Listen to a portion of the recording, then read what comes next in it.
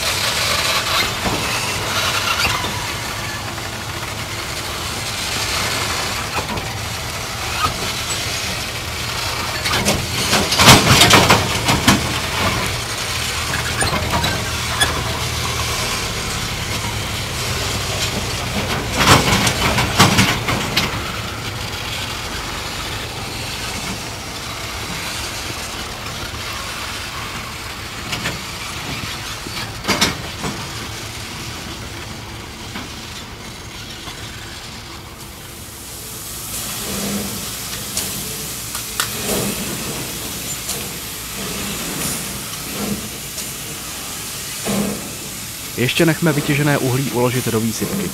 Pak se rozloučíme jak s Unrou a jejím vlakem, tak i s touto dnes už bohužel neexistující 5 km dlouhou drahou do dolu Klanovník.